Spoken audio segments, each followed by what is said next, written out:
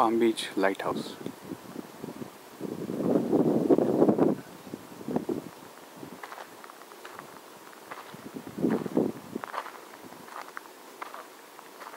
don't know if you see anything behind.